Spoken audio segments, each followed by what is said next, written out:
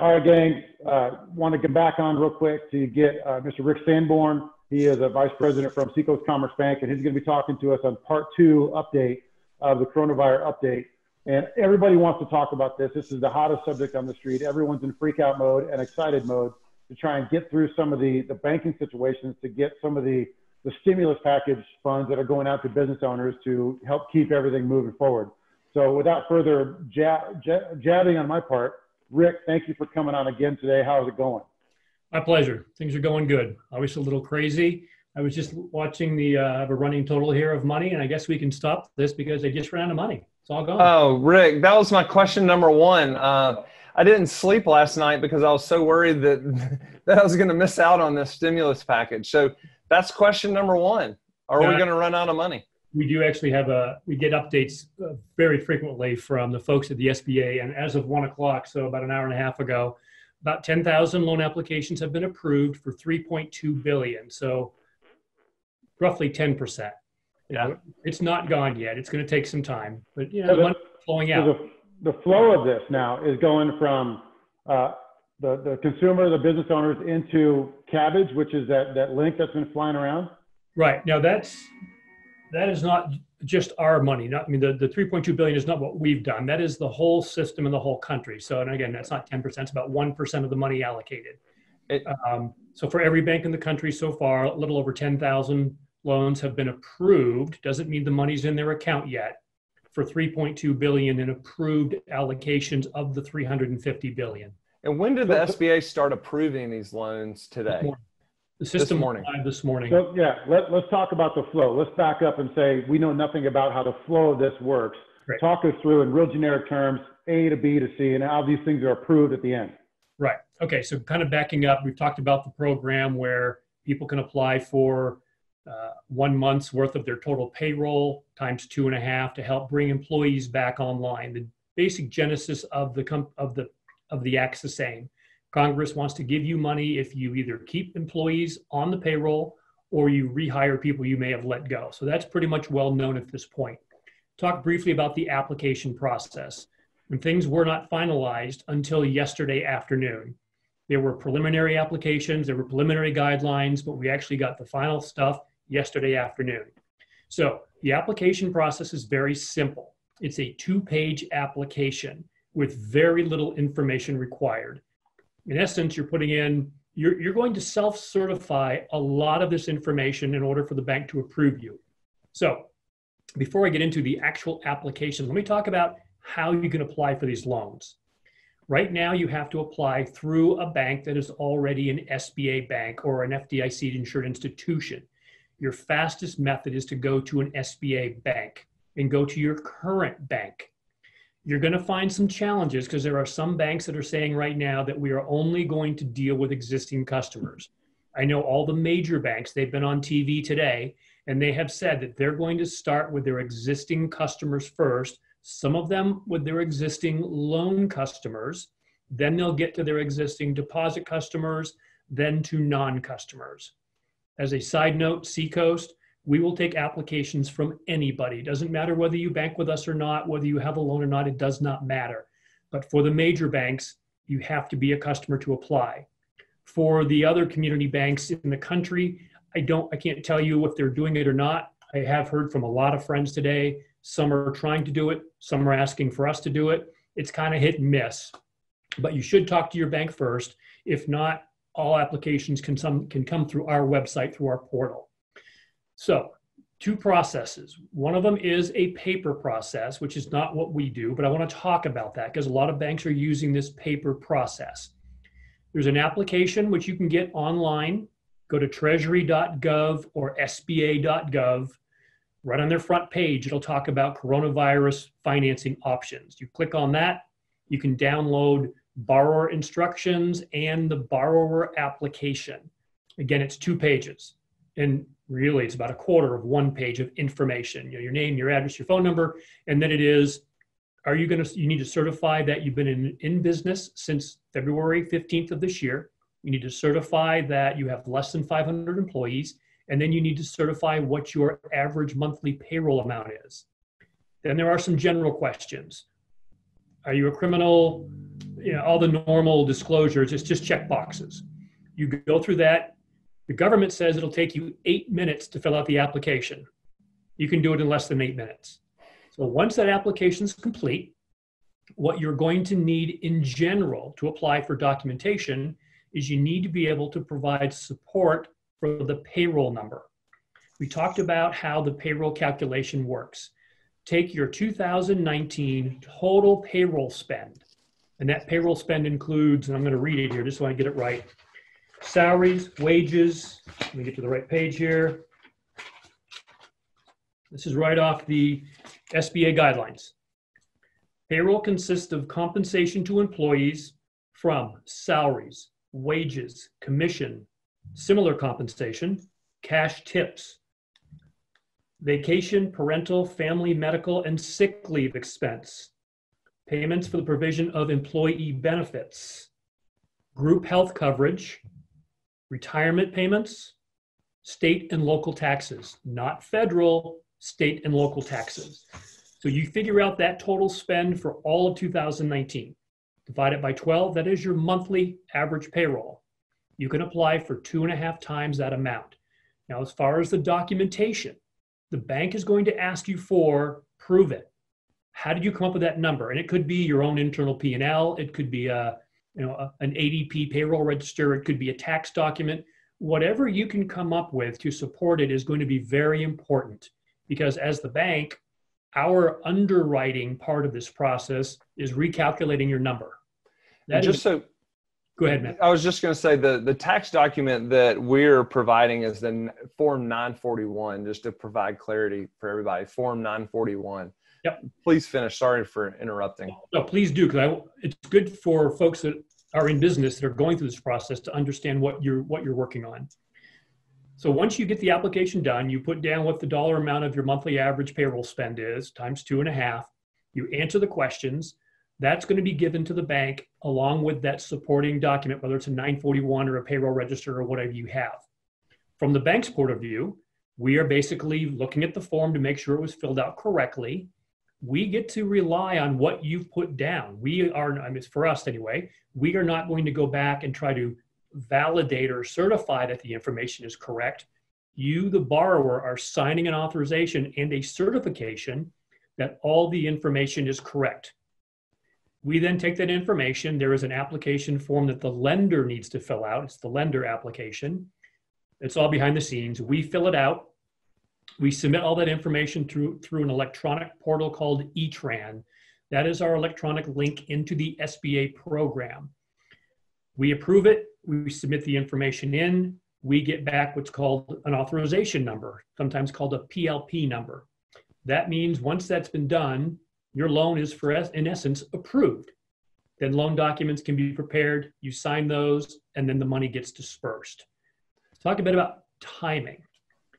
You get the application in. In reality, we should be able to go through on a manual process and approve that loan in less than an hour and get the response back from the SBA to get that PLP number. I have to say the PLP system is overloaded. I mean, there are a lot of requests going in and it is apt to be very slow. So there needs to be some patience there. Again, we are putting over 10 times the annual volume of loan requests into a system in a few weeks, in a few days to a few weeks. But it's working. As of 1, 1 p.m. today, there's been over 10,000 loans approved for 3.2 billion. So the process is working.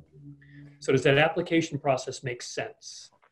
Yeah, it absolutely does. Uh, and we're, we're going through it uh, with you as well. So I know Brad did it today too. Talk about if, you know, this also gives me anxiety to know that already 10% of the money has gone out. 1%. Talk about, one percent. Okay, good. One's way better than ten. So, yes. but talk about what happens. You know, there's. I saw some uh, people were talking. You know, there's 30 million small businesses. There's 350 billion. That's about eleven thousand dollars per small business. What's going to happen if the money runs out? Yeah, I can tell you the average as of the first um, report I got this morning, when about um, I don't know about a billion dollars had gone out, the average loan size is 373,000. Wow. So you multiply that times the businesses, it's way more than 350 billion. Yeah. Secretary Mnuchin in his press conference yesterday said, look, we understand the money's going to run out. We don't know when. We, we believe it's going to be in three or four weeks. But he said that they will go back to Congress and try to get more money for the program. If you think about it, this was unanimously approved by the Senate. This is an important program. This is getting money back to small businesses to hire people. They're already talking about stimulus bill four. So my belief is they'll be able to get money to continue this program if they fall short on their estimates. I wanted to talk about the online process, which is a little different from the paper process I just talked about. Yeah, please do. So Matthew, you, you're going through this now. So a lot of banks have a paper process, fill out an app, bring in the documentation. We have decided to partner with the largest online business lending portal called Kabbage. The reason we did that is the sheer volume of requests that we're getting, we just could not handle them quick enough on a personal paper basis. So on our website, there's a link to apply here for the loan. It goes out to Kabbage, and Kabbage has built this whole back end system to be able to go through this SBA PPP process. You're basically doing everything online. You and as a reminder, as a reminder to everyone out there, this is just specific to Seacoast. Correct. Right. This is not like for the SBA thing altogether. So I don't want people to be going to Kabbage and say, you know, that show that they put together. I don't understand what they're talking about. This is only for Seacoast customers. Well, but there are some banks that are also doing created their own online portals too. Yeah. Yeah. And, and, to be honest, yeah, Kabbage is doing this for other banks as well. We are not the only bank using Kabbage. and I do believe you can actually go straight to Kabbage and apply for this loan as well. We're trying to get as many access points to small businesses as possible. We're not trying to corner the market and, and cover it off. But the way the process works is you go into Kabbage, you fill out the application online. There will be verifications of bank accounts. They need to verify who you are as part of the BSA, AML, or Bank Secrecy Act laws. So there will be some verifications. You need to be able to verify your bank account information. That's where some of this is getting tripped up. You got to give in your bank login and password information. They need to be able to get in like you're going into Quicken and verify that information. And then once you get the information in, you will then upload those tax documents or those payroll verification documents. Their systems will go through the ETRAN approval. And then once you are approved, they're saying today it's going to be roughly three to four days to get the money into your account. So the process for us is working. That we've had close to a thousand people that have wanted to apply. They are now going through this Kabbage process through us. And I have been getting emails from folks that yes, it's working. Yes, they've been approved. Some aren't, but we are getting that it is working. All right, I'm going to ask a personal question because we're going through it. And do you upload the documents before you get approved, or is that post getting approved? That is part of the approval process. So First, you're putting in your information about your entity, about the ownership, you're answering the questions. And then I believe, and I, unfortunately, I have actually not applied, so I can't go in and see the actual screens. I'm trying to get people to send me screenshots. Uh, we just did, we signed the agreement last night on this. We, we sure. link online on our website last night, so we haven't even got the documentation to show people. I mean, this is how fast it's going. But my understanding is you put the information in, it'll qualify you as an eligible business and then you are going to have to upload that payroll information. And that's that's what the three to three to four day process is is they need to validate that information and then cut the check and they will send it directly into your account. Why was uh, and and not just with you i mean this was kind of like crammed down everybody's throat in about a week right? Because the president signed it you, you were on last week and the president had just signed it and today, here, seven days, almost seven days later, exactly seven days later, we're talking about getting this money out. Talk about just the craziness of the process. I know last night late, like originally it was going to be if you did switch it to a loan or it stayed alone, not switch, but if it stayed alone, it was a half percent. Now it's 1%. Talk right. about all the things that happened kind of at the 11th hour. Uh, you want to get into the sausage making, huh? not too well, just as much, but just because I, I know everybody's been working on this very hard for seven days to get everybody the money, and it just feels so stressful for us, yeah. but also it's stressful for you guys too. Well, I think there was a concerted effort between industry bankers as well as the US Treasury and the SBA to do everything we could, move heaven and earth to get a system up and running so that we could get money to small businesses. You're absolutely, absolutely right. This was so rushed, it's insane a program like this would normally take a year to implement. not a week. Now, right, rightfully so. The industry did push back a little bit, the banking industry. Yeah. And I thought they had a valid point. I read an article this morning. Uh, I think it was on, uh, I can't remember what qualified goods article it was. It was a good company. But the point of it was, you know, the banking industry is pushing back. So we don't have enough guidelines. You're asking us to do this for free. Uh, just all the things that are just, that yeah. make sense, right? And because you get somebody that's standing up there on stage and they got the spotlight on them, they're like, oh, it'll be easy. You just walk into your bank and you apply and you walk out with money.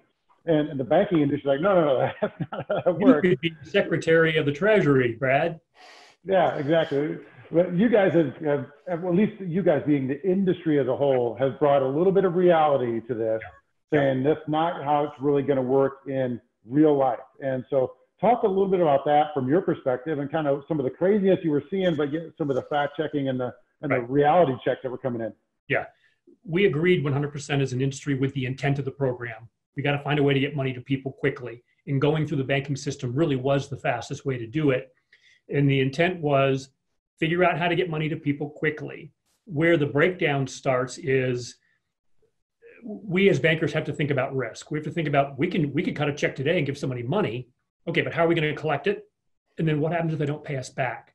Who who's liable for that? If the government, being the Treasury and SBA, want us to just get money out as quickly as possible, that's fine but there's certain conditions under which we can't be held responsible. Let me just give you an example of why we also had to push back on this. And I will tell you, up until two days ago, we were not going to do the program once we got the uh, original guidance from Treasury. But here's the reason why. I don't know how much we're going to do in this loan program. It could be, and we figured if, you know, if we did, you know, a thousand clients at a hundred thousand, each a hundred million dollars we could send out the bank is a total. We have 132 million in capital. That's our total equity base. What would happen if Treasury said you didn't do something right and the guarantee on all those loans is invalid and we have to eat those loans and they go bad? It would kill the bank. We would go out of business. So that's what that was just one aspect of it. Uh, for me, that was the biggest liability is should we be held responsible if you are telling us get this money out with limited information and limited due diligence? said we can cut the check, but I don't want to be held responsible and potentially crater the bank if mistakes are made, which are mistakes out of our question, out of our ability. So that's where there had to be this. Okay, let's pause for a second. Discussions between industry and the regulators, saying Treasury specifically, look, we'll do this, but we need to get some guidance. I mean, every bank pushed back. Every bank at one point about three days ago was like, we're not doing this loan program because of these risk, these risk issues. How am I going to handle defaults on loans? You want me to rely on a simple two page form that you, you're saying the borrower is going to certify it's all true and correct. Hey, that's great. But that's not the way the SBA program works. When a loan goes bad, we know we have to prove we did everything right. And there is no proving if you do nothing. So that's where the, I mean, really in the last 48 hours, people have been in a room nonstop figuring out how we're going to get around this. And the, and the end result, honestly, is it's okay. I mean, the, the, the half a percent versus 1%, that's really not a big deal because that's more of a cost of funding be able to fund these loans. To me, it was more about the liability. Can we come together and figure out if you want us to give somebody a loan on basically a piece of paper, on a, on a signature on a page, based upon them just telling me, I'm certifying all the information is correct, that's fine, but I can't be held responsible. So Treasury and SBA did agree that we would be held harmless if we if we rely on the certification that the borrower is telling us that all the information they provided is true and accurate. So that's how we're able to now act so quickly is because we've been given that hold harmless. Talk a little bit about there's uh, also an EIDL loan. Are you familiar right. with this? And it's like a ten thousand dollar grant. So some people have already applied for that through a separate program. Uh, you did, Brad. And so talk about how that works in conjunction with this um, this PPP program? Right. The EIDL program or the Economic Injury Disaster Loan, we just call it the disaster loan. That is a standard program that the SBA has. It's always been in existence. It's available when there is a, a disaster, uh, an earthquake, a hurricane, a flood. The SBA gets appropriated money during disaster times to be able to provide assistance to small businesses. That program is geared to helping businesses get back on their feet replenish working capital, repair things that may have been damaged during a disaster. Stimulus One allocated about $8 billion to the SBA for this EID, EIDL program. It's not related to payroll. It's really related to economic injury to the business as a result of an event. So, yes, folks can apply for this EIDL program or disaster program, and they can get funds to fix problems. Part of the EIDL program, because it takes a few weeks to get that money, is you can apply for a quick grant of the $10,000. So that's under the EIDL program, but within three days, we want to get you 10 grand. So folks can apply for that. What Treasury is saying is you can't apply for that and a PPP loan for the same purpose. So if you're applying for an EIDL loan or and you get a quick grant and you're using it to pay payroll or rent or utilities, that's fine, but you can't also do that under the PPP program. So here's how the solution is.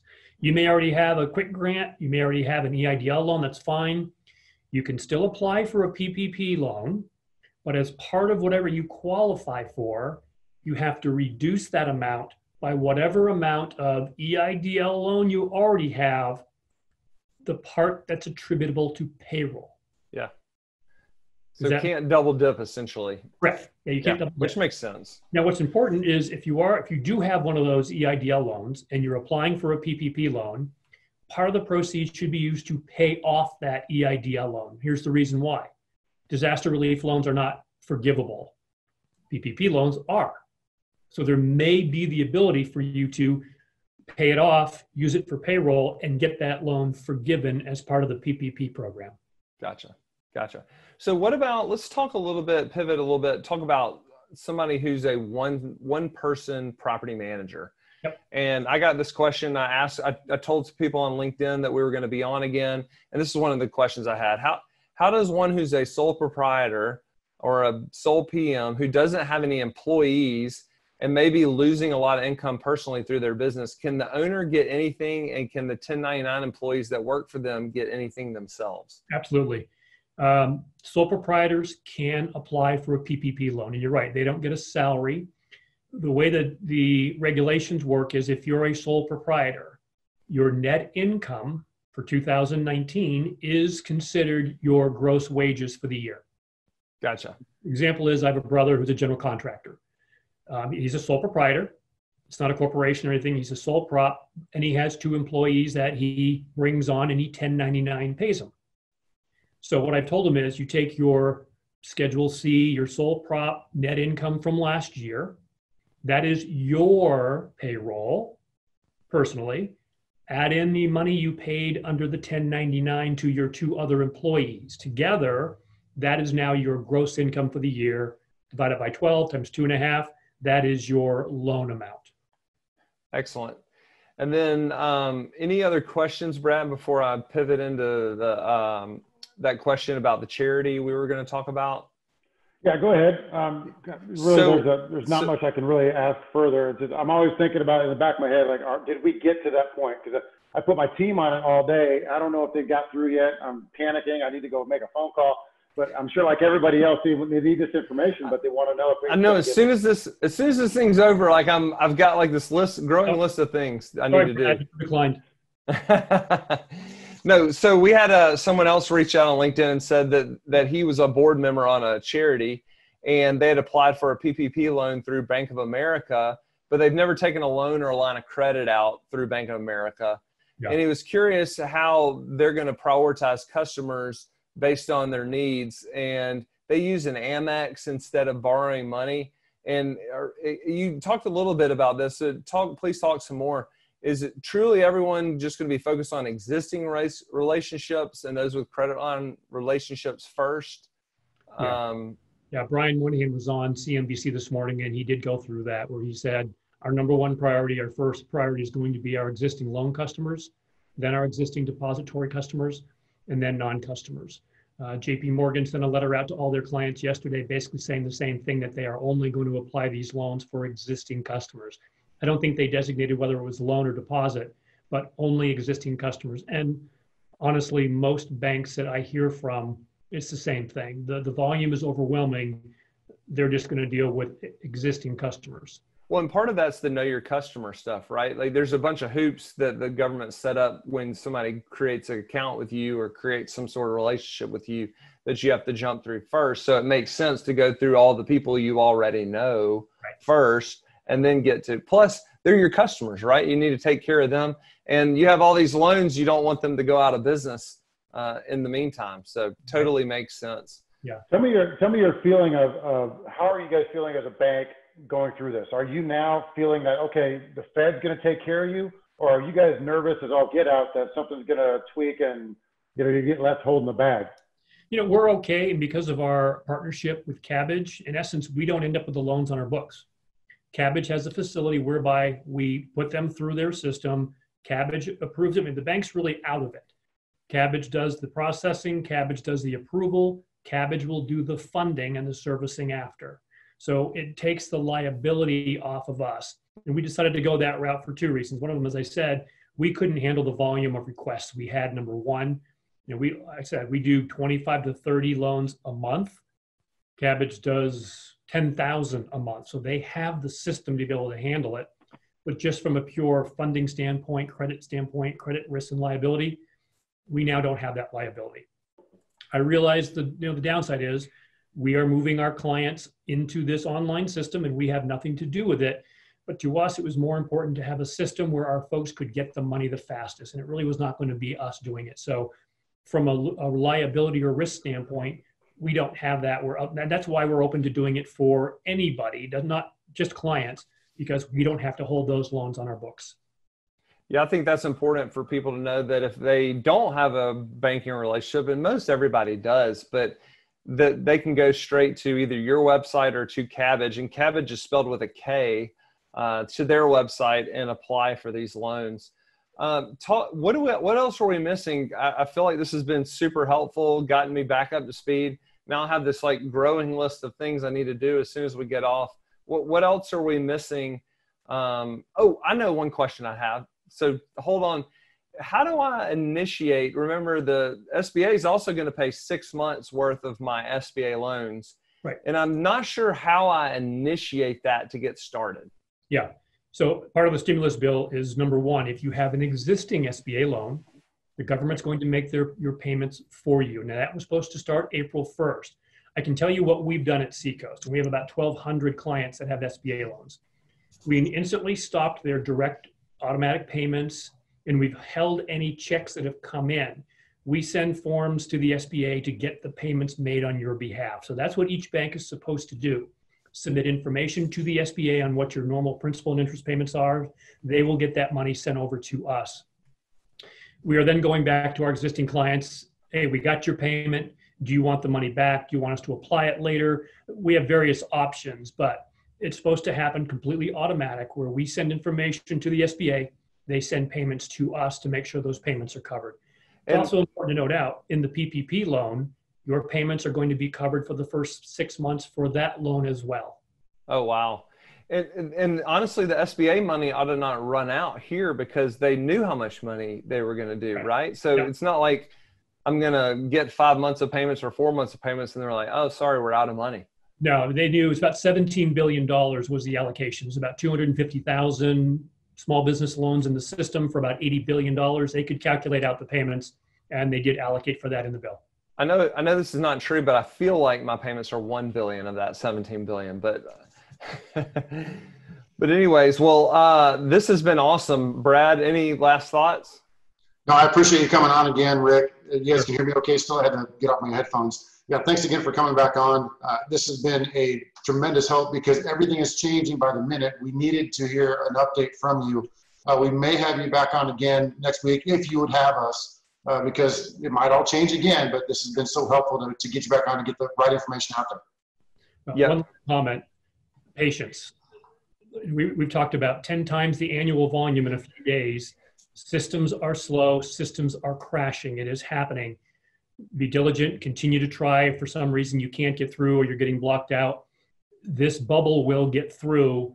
But everyone, please have some patience as we work through some of the technology and issues. patience is one of those things you appreciate in other people, but you don't want in yourself. So when that money hits my account, I will be super patient with everything else. But you, y'all have done a great job. Allison's done an awesome job helping us, keeping us uh, in the loop. So thanks so much for showing up again. This is uh, this has been some amazing material, and I mean, I, last time you're on, it, you crushed it, and this time I think uh, I appreciate you coming on and filling us in. Well, thanks, guys. More than happy to do it anytime. Thanks, Rick. Take Thanks, care. Rick. See ya.